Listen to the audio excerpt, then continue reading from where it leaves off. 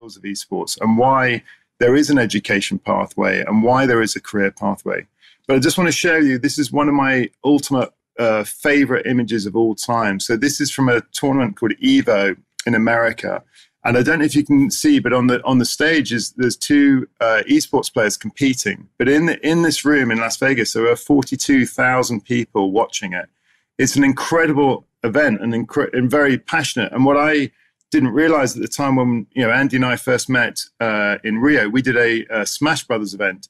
Within each within each esports, there's a community within a community, right? You are part of something special, and the the the the, the people that play the fighter games um, are an incredibly passionate group, and just I just love that image, and I, I would encourage everyone, you know, when things get back to normal, to go to a live esports event. It is incredibly passionate. And I think the difference in the fans who know so much granular detail, but when you go to a different events, there's a, an, a huge atmosphere, different atmosphere, sorry, to a League of Legends event, to a Rocket League event, to a Call of Duty event. And I'm going to talk about uh, one of your one of the greatest British esports players who's Scottish, a guy called Shawnee, who uh, uh, plays for the London Royal Ravens and you know he he's a hero. And this is one thing that we when we started british esports we wanted to create heroes. And i think if you take um, example of british cycling you know they had some fantastic or have had some fantastic heroes and they created this pipeline of interest. And you know obviously sir chris hoy and obviously chris boardman bef- before them. And for me i still work in sport and i'm a massive fan of sport but i'm also an incredible uh, fan of esports and the benefits in playing esports, which I'm going to talk about. So, you know, why why have why did I get involved? So, uh, my son was born in August 2000, so he's uh, turning 21 this year, and I saw firsthand as a parent, you know, what incredible you know enjoyment and fun my son was playing, competing. Uh, with his teammates uh, over the years, you know, obviously not not just live, but online. And I was incredibly uh, moved by how uh, lucid and how uh, generally happy he was. He, he had a slightly troubled uh, childhood, and it was incredible to see that, you know, just by playing this activity with his friends, this sense of community really changed him and really uh, made him incredibly happy. And, you know, without getting kind of too deep, I was amazed, you know, wearing my sports hat, being, you know, I'm 50 years old and thinking sport, sport, sport. But then I realized there's this whole world of esports and the benefits from playing. And the number one point is incredibly important for everyone to realize, you know, it's the most fully inclusive activity, in, in my opinion, that you can play as a, as a team. Yeah. You can be any color, any shape.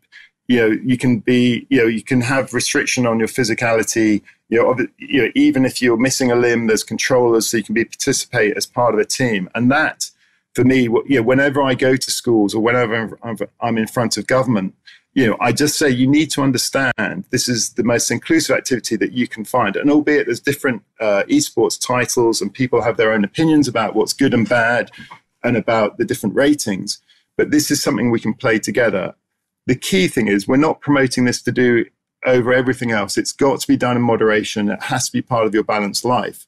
But we've seen personally, or I've seen personally, you know, just down the road where I work in Slough, we did a, a pilot in an alternative provision school where there were children playing together in a Rocket League team who weren't historically allowed in the same physical room because there was uh, issues with their, you know, with their aggression.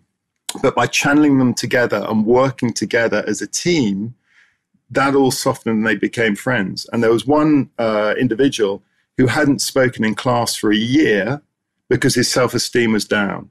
Then he joined this esports club. He then got in the esports team. He then become recognized within the school that he was a great esports player.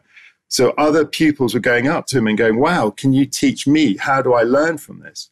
And the, the pupil's self esteem literally went from zero up, up, up, up, up, up. And during class, he started oh, talking, and teachers like, "What you know? What is going on? How is this child you know progressed in his own self belief?" And it was about being acknowledged for this great activity. You know, that that's just one example. And then the other example that was incredibly powerful is there was a girl in a wheelchair in a school who had never been able to participate in a team for their school, and she was a great gamer, and she managed to join the esports team. And the parents wrote me an incredibly powerful letter to say, This is the first time that my daughter has felt included in the school. This is the first time my daughter has felt that she's part of the school community. And again, she was recognized for being great at an activity. And you know, for me, the number one cause, you know, or it's recognized, the number one cause, you know, of addiction in the UK is a lack of self-esteem. And so for me, from the onset, my approach about esports is this is an incredible activity that more people should understand about and should be playing, again, as part of a balanced life.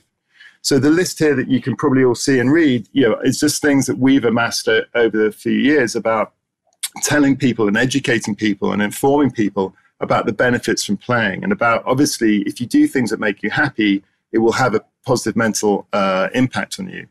And about three years ago, we were approached by the Royal Air Force to help them uh, set up and guide them on their esports and gaming association and they chose esports to help combat loneliness on their on their different uh, bases uh, or stations. And what they were saying is they've got these incredibly passionate people who are doing a great job for our country, but they were very isolated. The communal areas had, had been disappeared, but they did a study, and on, and on one of their stations, they had uh, over 600 people playing on their Xboxes, but they were playing in their bedrooms. They weren't playing as a community. So they created these uh, esports hubs and it was again a fantastic seeing they've progressed. And when Insomnia was being played, they had a, a, team. And in December, we arranged a Call of Duty tournament with the RAF, the Army, and the Navy playing against the American Air Force um, and you know their equivalent. Unfortunately, the RAF lost in the final to the U.S. Space Corps. Uh, there's definitely a, a, kind of a steward's inquiry about that. But it, I mean, it was a great progression. And then what's happened is the Army on both sides of the Atlantic have said actually there's some huge benefits and transferable skills in being a good gamer, just on the processing. I'm going to talk about that as well. So during this journey of me, you know, really focusing on the benefits of esports and what a great way of acknowledging and, and helping kids. And you know, we've been doing a number of pilots. So uh, in 2017, we did a, a tournament, uh, sorry, a week where we did uh, Rocket League, FIFA, and football skills at West Ham Foundation. And we were very kindly supported by uh, London Sport, that was part of England Sport, Sport England at the time. And we are just trying to see how we could transfer skills between the two. And if people were a bit embarrassed about playing football, could they learn skills from uh, Rocket League?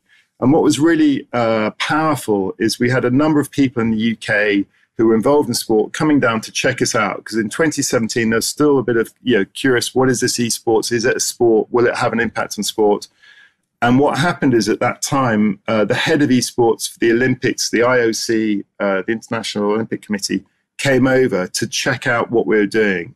And then after that, uh, about a year later, they set up the esports uh, gaming and liaison group, which British esports are part of. And we've helped shape and help them understand about the incredible power within esports. And obviously, then since happened, is uh, video games and sports have gone into virtual sports. So you've got esports and you've got virtual sports. We're very focused uh, on esports. We then met with people like Oxford Internet University. We met with great people like uh, Professor Andy here, um, and just understanding about, you know, was there some quantitative and qualitative um, answers that we could give people? You know, you know, personally, I've got a massive issue about social media, you know, and you know, watching passive media, whereas some people would describe esports as an active media, you know, how you're interacting and, and you're sharing. And as, as I say, I've seen firsthand as a parent the benefits of this. And then about a year ago, we were impro- approached by Imperial Health. Um, they were doing a study in dementia prevention. And what they uh, came to us to say was globally, children that leave that leave full-time education around 12, so that could be in India or could be in South America, are twice as likely to get dementia. And that really kind of was like an amazing statistic. And I was saying, well, why is that? And they said, well, you know, if uh, you don't build up your memory function, your hippocampus or hippocampi, with a certain amount of uh, functionality, then when you're age of 16, we all lose 1% of our memory function. So a bit like a bodybuilder, if you build up your strength and you lose 1%, it doesn't matter. But what they came to us is they said, look, we think esports in particular, because of the human human interaction and because you're always playing games of skill, could be uh, a great focus group. It, you know, in the old days, we used to play uh, bridge and chess, obviously, they're both fantastic games, but actually, this is a modern version. And how can we prove that actually playing uh, certain esports for a certain amount of time is going to help uh, your memory function? And you know, this is uh, something that we started, and we're very excited to be part of that. And I know, I think Abertay are on the call later, or sorry, on this uh, conference later, and Dundee. So during this time, we were approached by uh, Pearson, who are uh, a great uh, education company, about you know how can we start doing some education pathways. And this, and I know there's a session later. This is not about trying to make everyone becoming a pro esports player. This is about the whole ecosystem around esports, about the production, about the marketing, about just a bit like a sports team about that. So we started last September with uh, BTEC. I know we're talking uh, to the uh, everyone in Scotland about trying to create something up here with SQA. Um, and we're just trying to promote the values of esports and use it as a way of engaging with children uh, to kind of learn other skills, which are, are transferable skills. So I'm just uh, going to connect to my, I've been rabbiting on, so I, I need to click to the next slide. There you go. So yeah, this was a great photo. So on my left is my chair, who you're gonna, who's gonna be closing the conference today, Andy um, uh, Payne, OBE, who got an OBE for video games. And this was at Insomnia two years ago uh, when we could do live events. And this was a winning team. Uh, and we participate in Rocket League, Overwatch, and uh, League of Legends. And this was the winning team in a live stage. And it was a fantastic uh, for us to see live. As I say, it's very important for you to uh, see things live. Just going to go to the next slide. Yeah, sorry. So skills, let's talk about skills. It's very important. You know, 50% of children do not go to university. You know, the Secretary of State for Education, Gavin Williamson, you know, he's very pro vocational skills. Know, so am I, and so are we. So those that don't go to university, you know, what skills can they learn, you know, at secondary school? And we believe again, you know, studying esports or the skills around esports is incredibly important. So when you're actually playing esports or arranging esports, you know, these are a list of a number of skills that you can generally gain by playing. And I know in the old days, you know, if you had a great golf handicap, you know, that was important in your CV. If you're a certain level League of Legends player or a Dota player, you know, I know there's companies in America that actually ask you, are you a you know, are you a gamer? What is your standard? Because it shows that you know what type of brain you have and what if you're into strategy. Um, and I know, as I said earlier, in the armed forces, they look for people who've got great dexterity, and even surgeons. You know, there's a great example of you know keyhole surgeons who have come who the better ones have come from being gamers you know with that dexterity but not only that these are life skills. You know these are important for you to understand around playing video games but you know obviously we're promoting esports titles as well. So what happened over the last five years is we realized about yeah this is a great activity but how can we actually professionalize it? How can we create you know tra- these transferable skills improve your soft skills but also create uh, this education pathway and you know to have future jobs you need future qualifications. And again i know that we're going to talk about that later. This was us um, at the world skills event in birmingham about two years ago and we had one of the most popular stands. And this was uh, we had a rocket league tournament we had shoutcasters there we had people really engaging with it with an activity. And depending on how you look at esports and obviously we've got a very wide uh, aspect of what's going on it's a fun event to do. You're competing and you're socializing. And I think what's happened during lockdown or the lockdowns, the gamers have actually survived a lot better than pure sports people because the sports people have been missing out on socialization and that competitive edge. And what we've seen and what we've helped, you know, a number of different uh, national governing bodies in the UK, you know, basketball being one, we've been helping them putting on tournaments and the AOC uh, colleges as well putting on FIFA tournaments. And I think it's important that we are not a threat to sport. We are a complement to sport. And I think it's very important that people understand that. And I know uh, there's a, an incredible statistic in America that EA uh, confirmed at an IOC meeting about a year ago that they did some research of under 18 girls that play football in America. And 20% of people, 20% of the girls said they got into playing football because they played the game FIFA. So that's a great thing. We should all be promoting on on our different um, industries that we're in the values of uh, physical health and mental health and making people happy. So it was really great to see, you know, esports should help people be more active and vice versa. And what I'm very um, pleased about and honoured about is that you know we are recognised as British esports as, as promoting those values. But more importantly, you know, some of our heroes in the UK, like Wolfiez, is a Fortnite player.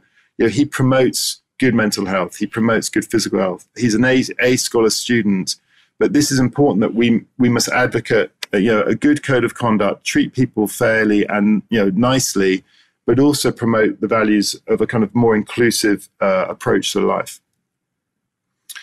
So one thing I wanted to highlight also, you know, people, you know, when you go to these live events, unlike kind of uh, football or sport, and as I say, I am involved in sport, you know, the actual production values of live esports is incredible. And what you've got to understand is un- instead of just following one football or following a, a rugby ball around or a tennis ball, when you're producing esports event, you're following 10 individuals who are on a, a map and the skill set of the production team to be able to forecast or highlight or show in real time, oh, you know, Andy's about to do an amazing shot or blah, blah, blah.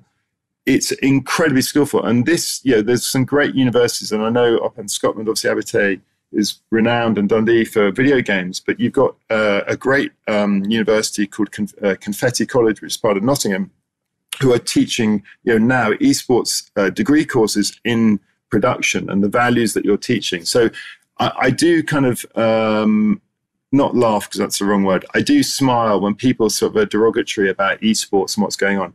The technical skills that you are learning in production, in particular for live events and for online events, is immense. And I, I worked at Wembley uh, Stadium for 10 years, and there's normally around twice as many people putting on a e- live esports event than there would be for a concert. And I think you've got to understand you know how important and how intricate this is and the skills that you've got to have. And i'm very proud to be part of this industry.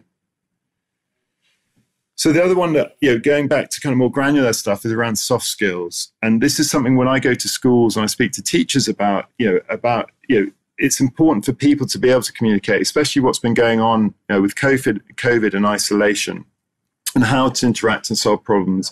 And this is again important from an employability point of view that you learn as a team. You know, people don't like being told, you know, that they've done something wrong, but there's something about playing as a team where people are learning together. And these soft skills are incredibly important in not only in life, but also from an employment point of view. And I, what I do like about esports is the thing that you're trying to beat another human or another group of humans. And I think it's, you know, that that tenacity that you have to have, that skill that you have uh, you have to have is really transferable. And as I say, you know, I, it's been a huge honor for me, you know, for the last five years to progress, you know, where we've got, and it wouldn't have been possible without, you know, great people on our board and great people um, on my, you know, on the on the staff as well.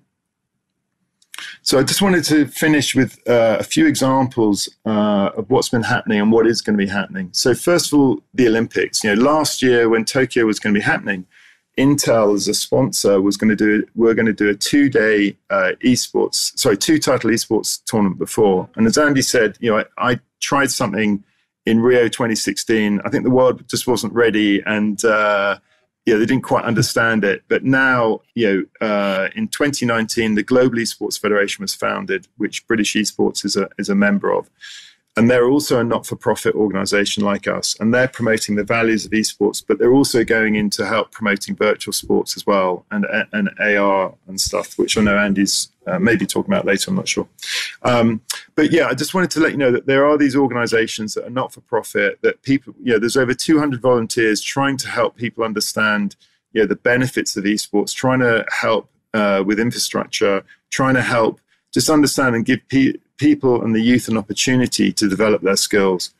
With regard to kind of Birmingham 20, 2022 with the Commonwealth Games, uh, wearing our Global Esports Federation hat, we've been trying to help and trying to create a, um, a tournament there maybe before the games. Um, so that's still, you know, hopefully in the pipeline, uh, which will be should be announcing soon. I don't think it's a secret that there have been conversations. Um, but then you go over to Hangzhou in China in September 22 esports is a part of the official uh, Asia Games. That's just the Para Games there, but it is part of the Asian Games as well, the main games. It will be a medal event. Um, and that's pretty incredible that, you know, in Asia, they do view uh, esports as a sport, whereas under UK law, uh, we're a game like chess and bridge. And to be honest, we're very happy about our classification uh, because when we've gone into schools and we've met teachers, we're not trying to say, don't do football, do esports. What we're trying to say is there's skills, um, so there's benefits from both. I talked earlier about uh, the Royal Air Force Esports uh, and Gaming uh, Group, which is a fantastic uh, initiative, and, and we're, again we're really proud to have been part of that journey. Uh, and they've gone on leaps and bounds, and they've got you know people who are just playing for fun and social gaming, but they've also got their esports teams. And then finally, uh, before I kind of hand back to Andy, I just want to talk about uh, Shawnee. So he he's obviously one of your. I don't know if people how many people know about Shawnee, but he's uh, plays for the London Royal Ravens, which is the UK's Call of Duty uh, franchise league, which plays in the CDL. There's 12 teams, nine in America, one in Canada, one in France, and then the UK team is the London Royal Ravens. It's really important for us to help develop and nurture talent. And it's something that our role, you know, we are a national, we're the national body, but really an amateur body, like an old sports body where we focus on grassroots. And our journey is to nurture talent as well as trying to get everyone to enjoy it as an activity. But we need more heroes. And it's very important, you know, that we acknowledge that and recognize that, you know, and, you know, in the UK, we've had Wolfiez, which was three years ago. He came second in an esports tournament, uh, Fortnite World Cup and he won 1.1 million dollars. And everyone's going on about, oh, it's great, he's a millionaire, but actually, you know, what he achieved was incredible. You know, 40 million people entered that tournament, and him and his partner came second. You know, it's really incredible. Just the skill that these uh, people have got playing. But I think it's very important for us to acknowledge and recognize and celebrate, you know, this talent and not be embarrassed, you know, that these guys are playing video games, but actually they're they're promoting their uh, mental skills as they're doing that. So, Andy, I just kind of gave an overview, kind of uh, you know, where I've gone to uh, in, in, life, but I, you know, I'm you know, I kind of call it my philanthropic philanthropic aspect of esports, and it's been a it's been a, a huge privilege again working with great people, but also just making people happy, you know, especially during the last year and a half. So. Yeah, massively. And that's such a fantastic overview, Chester, because it covers so much ground and is a great way to kick off. Because I think we often sort of imagine this is a community that's quite fully formed and established, but actually new people are joining all the time. And I'm really hopeful that many people in this event today are just finding their first steps in the world of esports and trying to understand what's going on. And they may have heard a bit about it, but don't really fully understand how to get involved. So if you are a college or a university and you're kind of interested and want to think about building something, where would you sort of advise people to sort of begin? Yeah, so I mean, we've obviously got a team of schools and colleges liaison officers, you know, come to us, but also what we can help do is introduce other teachers who've gone through that journey as well. And and I think you know we've been doing this to say for five years. We've got some great advocates. There's some incredible colleges that have already got you know 70, 80 children studying uh, BTEC in esports, but also, as I say, we're going to try and do that up in Scotland as well. So I think come to us. We've got a team of 10 staff, really happy to help in any way and introduce you. So not just hear it from us. Yeah, we're, we're, there's no gain for us in promoting a single title and like that. We're here to promote the values of esports. And as I say, you know, we're not for profit and we're doing it for good reasons. The one thing I would say as a parent or an adult, if you if you have no idea about this world, just engage with someone who is under 20 uh, to speak to them about their gaming and what do they do. And, and just the key thing is understanding the difference between esports and gaming. You know, esports is always human versus human. It's always games of skill. And I think that's, you've got to understand that as an adult or as a college. This isn't people trying to compete against themselves. This is, this is teamwork. And this is, there's a huge amount of kind of skills around that, as I've just talked about for the last 20 minutes. We have got a question actually in the chat already from Brian from the British from the Scottish Esports Hub, who's mentioned that he feels that it is quite a challenging career to pursue as an esports professional. And, and I wonder what sort of advice do you have, or what support do we have for players that are trying to find their way in this world, but also, I guess, protect themselves for kind of long term career aspirations too. Yeah, I mean, again, it's t- it's tough to be a professional uh, sportsman. Um, so I think you know, depending, you know, without not knowing enough, yeah, depending on the, the title that you're choosing and your level, um, yeah, it is tough. But I think what we're trying to do is create this ecosystem. At the moment, you've got at the top an, an elite system of you know the CDL, the OWL, the League of Legends Worlds, and then you've got amateur. And what's what you're going to see, and Andy said we are at the beginning. You know, we're going to see some more medium tier, some European qualifications. You know, more opportunities for you to compete. And I think once more money comes in to to kind of create that uh, ecosystem, the middle tier ecosystem, then it's going to be easier for people to progress. A bit like in football, where you become you know, a better player, or you can be financed to be a better player. So it will come. We just need more people to engage, more brands to engage with it. Yeah, and like you said, so much has happened over the sort of lockdown period. I think esports have done really well to keep people together, to sort of, I guess, guard against some of these challenges around loneliness that we've all sort of faced over this period. So there's quite a, a nice sort of story as to what's happened over the last 12 months in esports, isn't there? Yeah, uh, yeah, we've been very fortunate. I mean, we, again, we've been we've helped a lot of people, and and uh, you know how resilient we've been of going online straight away. You know, even our live our British Esports Championships, we've switched to that, but we're hoping to do our final live uh, in the summer. So yeah, we're switching back. There's nothing uh, better than seeing people, but yeah.